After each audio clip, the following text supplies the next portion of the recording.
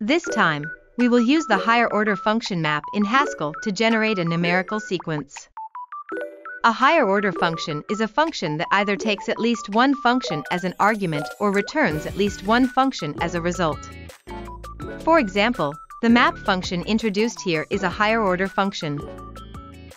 By using it, we can obtain a new list with the specified function applied to each element of the original list.